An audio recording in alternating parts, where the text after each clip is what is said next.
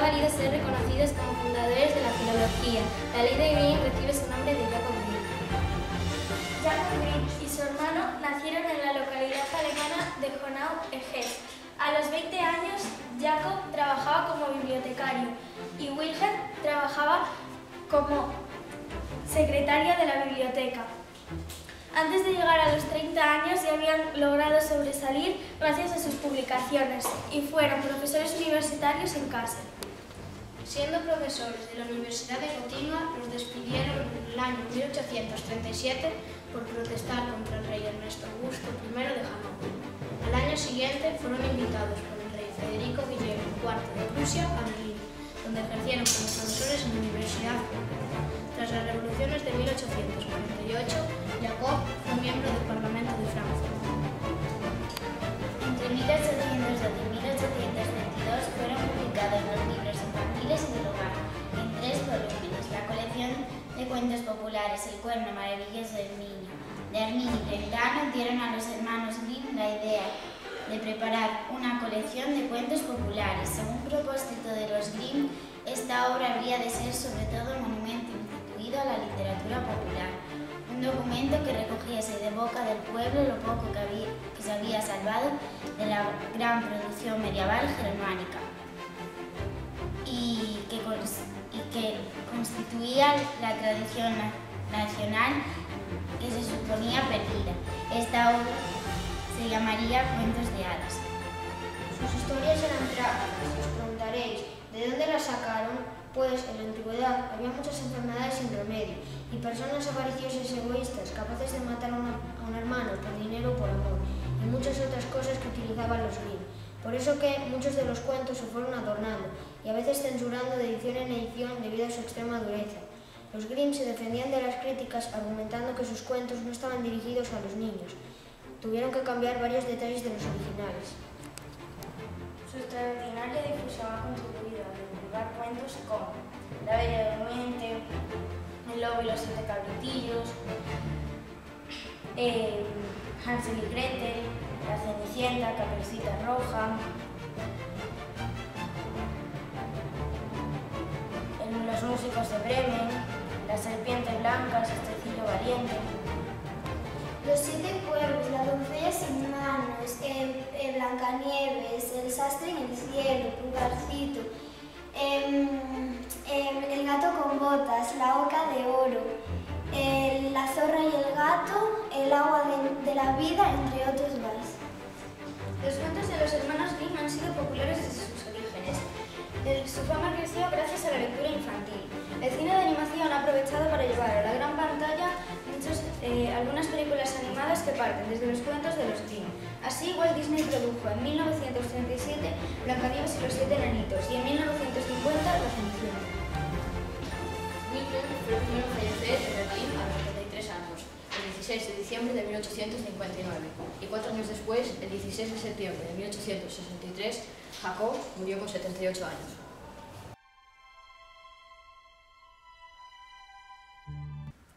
Os vamos a contar el cuento de los músicos de Bremen. Érase una vez el dueño de un burro que había trabajado fielmente para él durante muchos años. Este era molinero y el burro había transportado sacos de harina, tantos que eran imposibles de contar. Pero el paso del tiempo es inevitable y el animal comenzó a perder sus fuerzas, hasta tal extremo que el molinero pensó que era hora de cambiar a quien tan fielmente le había servido por otro más joven. El burro, que tonto no era, se dio cuenta de que no soplaban buenos vientos para él y decidió abandonar la casa del molinero para dirigirse a Bremen, pensando que allí podría encontrar trabajo como músico en la banda municipal. Cuando llevaba recorridos varios kilómetros, se encontró con un perro de caza que estaba tumbado junto al camino. Jadeaba de cansancio, aunque sus lamentos parecían deberse, más que a una carrera rápida, a haber estado corriendo toda una vida. ¿Por qué jadeas? Soy un perro desgraciado. He estado toda mi vida sirviendo a mi amo y ahora que los achaques me acechan, ha decidido pegarme un tiro, por lo que he puesto pies en polvorosa y me he escapado. ¿Qué vas a hacer ahora? No lo sé. En mi vida no he hecho otra cosa que sea cazar. A mí me ha pasado algo parecido. Yo voy a Bremen para trabajar como músico en la banda municipal. ¿Por qué no te vienes conmigo? Vámonos. Al perro le pareció bien la propuesta de su nuevo amigo y se le unió en su caminar. Unos kilómetros más adelante se encontraron con un gato. Su cara era tan triste que el burro le preguntó. ¿También lo abandonaron? Miau, miau. ¿Cuál es tu pena para estar tan compungido? Ay, tengo una vida muy desgraciada. Después de haberme pasado toda la vida persiguiendo ratones por casa, ahora prefiero estar tumbado junto a la estufa. Mi ama se ha dado cuenta y ha intentado ahogarme. Gracias a Dios pude escaparme, pero ahora no sé dónde ir ni qué hacer. Vente, con, nosotros, a Bremen. Bueno, vamos. El gato aceptó encantado la invitación y se unió a ellos. Los tres juntos siguieron recorriendo el camino hasta que llegaron a una granja, en cuyo tejado había un gallo que cantaba con todas sus fuerzas. ¡Kikiriki! ¿Por qué gritas con tanta fuerza? Estaba anunciando el eh, buen tiempo. Hoy es el día de la Virgen María, pero la dueña en la casa no comparte esta alegría. Mañana vienen unos invitados a comer a casa, pero y entonces pues tienen, tienen previsto cortarme la cabeza. Eh, mal fin te espera. Antes que muerto, cualquier, eh, cualquier cosa. Eh, nosotros vamos a Bremen a trabajar como músicos y, con tu voz seguro que triunfarás. ¿Por qué no te vienes con nosotros? El gallo, sin tener mucho que reflexionar, aceptó la invitación de sus nuevos amigos y se unió a ellos. Los cuatro iban felices por el camino. Tenían la esperanza puesta en la nueva vida que se les abría, pero Bremen estaba demasiado lejos para llegar en un solo día y la noche les cayó ¿No teniendo dormir? Pero si son animales, pueden dormir perfectamente fuera. Pobrecillos. Como no hallaron ningún lugar donde cobijarse, se dirigieron hacia un gran árbol que había junto al camino. El burro y el perro se tumbaron junto a la base del tronco, mientras que el gato y el gallo trepaban en sus ramas. Ninguno de ellos estaba cómodo y el gallo, el más inquieto, se puso a cambiar de postura hasta que, llegando a lo más alto, vislumbró una pequeña casa en el horizonte. Se lo dijo a sus compañeros y estos dedujeron que allí habría una casa hacia la que decidieron encaminarse en busca de un refugio donde pasar la noche. Y con suerte podrían encontrar algún alimento que llevarse a la boca. Después de caminar durante media hora llegaron ante una casa y el burro, que era el más grande de todos, se asomó por una de las ventanas para mirar. ¿Qué ves? Una mesa eh, preparada con deliciosos manjares y buen vino. Y cuatro ladrones que están a, puntos, a punto de sentarse a la mesa para cenar. Al final consiguieron la cena y el cobijo. La presencia de los ladrones asustó a los animales, pero el hambre venció el miedo y se pusieron a pensar un plan para echar a los ladrones de su morada. Esto fue lo que hicieron. El burro apoyó sus patas delanteras en la ventana, el perro se subió sobre su lomo, el gato sobre el del anterior y el gallo encima de todos. Cuando los animales estuvieron listos, a una señal del primero comenzaron con su música. ¿Cómo hacía el burro? ¿Y el perro? ¿Y el gato? ¡Miau! ¡Miau! ¿Y el gallo? Mientras lo hacían, irrumpieron en la habitación, rompiendo violentamente los cristales de la ventana. Los ladrones ya se habían asustado con el cuando vislumbraron esa peculiar forma que conformaban los cuatro juntos, pensaron que era un fantasma y salieron despavoridos corriendo por todo el bosque. Los cuatro animales se echaron a reír por el susto que les habían dado a los bribones. Y antes de que se enfriara la comida, se sentaron a la mesa a dar buena cuenta de las viandas allí dispuestas. Cuando hubieron terminado su cena, los cuatro buscaron un sitio donde dormir. El burro se tumbó sobre el estiércol, el perro detrás de la puerta, el gato junto a los restos de cenizas del fogón y el gallo sobre el perchero. Al día siguiente llegaron a Bremen. No, todavía no. A medianoche, los ladrones, viendo que ya no había ninguna luz en su casa, pensaron que el fantasma se habría ido y decidieron volver. Ninguno quería ser el primero en entrar, por lo que decían... Entra y registra toda la casa. Pobres animales. Y cuando abrió la puerta se encontró con que, con que en casa reinaba el más absoluto de los silencios. Para inspeccionar a fondo la estancia, encendió una vela y al ver brillar los ojos del gato, pensó que eran los restos de la casa, así que acercó la cabeza del fósforo para que prendiese. Pero el gato, que no era amigo de juegos, y menos aún si intentaban meterle una cerilla en el ojo, saltó a la cara del bandido arañándole y escupiéndole. El ladrón se asustó muchísimo, pues pensó que era el fantasma quien le atacaba, y salió corriendo hacia la puerta trasera para escapar lo más deprisa posible. Allí estaba durmiendo el perro, le mordió la pierna, y cuando pasó junto a un montón de estiércol del corral, el burro le propinó una fuerte todo el follón hizo que el gallo se despertase y cantase desde lo alto del perchero. No pueden ni dormir tranquilos. Así hizo, y cuando abrió la puerta se encontró con que en casa reinaba el más absoluto de los silencios. Para inspeccionar a fondo la estancia, encendió una vela y al ver brillar los ojos del gato pensó que eran los restos de la brasa, así que acercó la cabeza del fósforo para que prendiese. Pero el gato, que no era amigo de juegos, y menos aún si intentaban meterle una cerilla en el ojo, saltó a la cara del bandido arañándole y escutiéndole.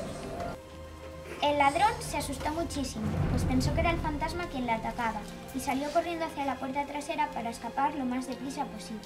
Allí estaba durmiendo el perro, que le mordió en la pierna, y cuando pasó junto a un montón de estiércol del corral, el burro le propinó una fuerte coza. Todo el follón hizo que el, gato, que el gallo se despertase y cantase desde lo alto del perchero. ¡Kikiriki! Muy bien, eso mismo hizo. El ladrón escapó de la casa como alma que lleva el diablo y fue junto al jefe de la banda a decirle, esta casa está poseída por un grupo de fantasmas de la peor especie. Una bruja me ha arañado en la cara, un jorobado me ha clavado su cuchillo en la pierna, en el corral un monstruo negro que me ha golpeado con un garrote y desde algún sitio otra de las órdenes gritando, traedme al pícaro aquí, traedme al pícaro aquí. Yo ahí no vuelvo a entrar ni por todo el oro del mundo.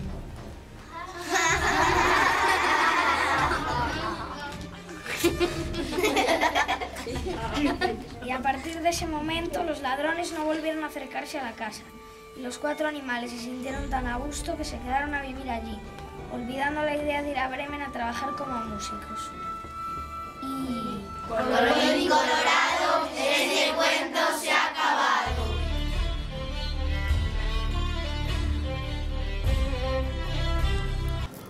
Había una vez una hermosa y pequeña niña que despertaba afecto y la simpatía.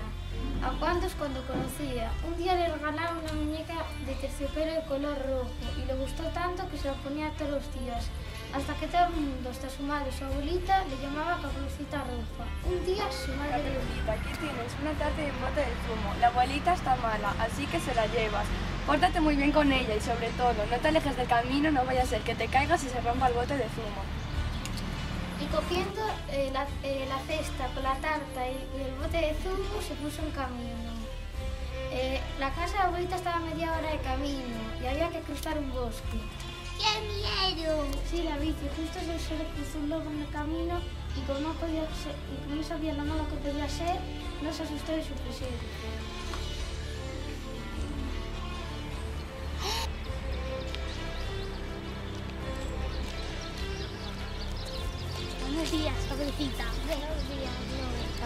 Temprano? Voy a casa de mi abuelita, que está enferma. Le llevo una tarta y un bote de zumo.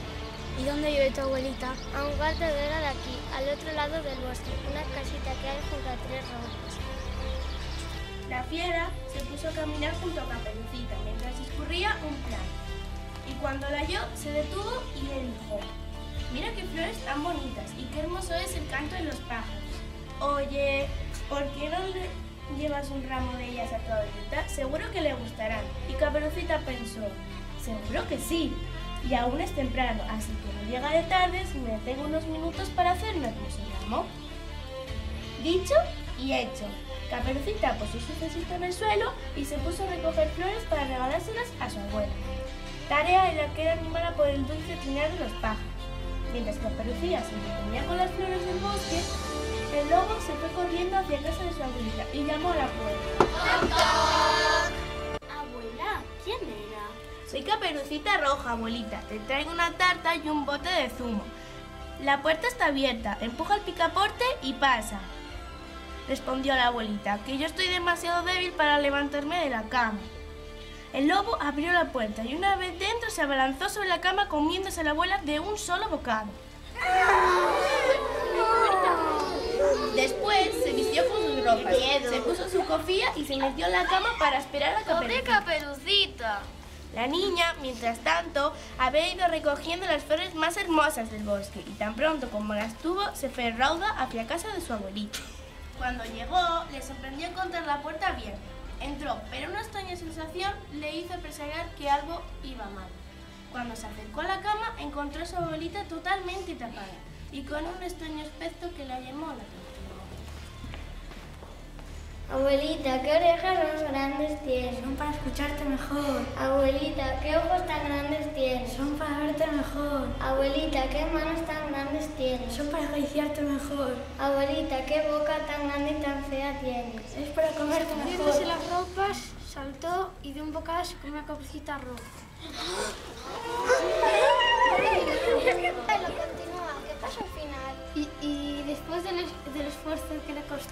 a las dos, le provocó mucho sueño y se fue a la cama. Encima, con la fatiga que tenía, le provocó un sueño profundo y roncaba muy fuerte. ¿Cómo de fuerte?